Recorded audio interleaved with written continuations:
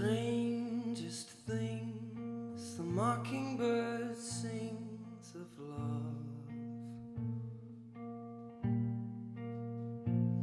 Yet stranger still, the songs that he trills were born by a dove. Well, I'll say what I mean, even if I